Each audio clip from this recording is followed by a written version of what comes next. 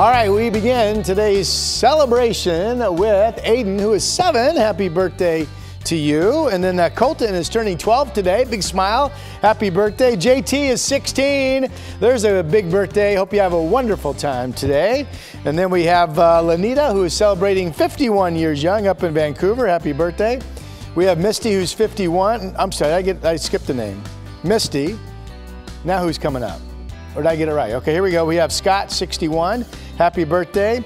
Uh, Dabari is 69. Happy birthday. And the Jim celebrating 65 years young. Happy birthday to sir. He's a little bit better built than I am. Happy birthday. birthday.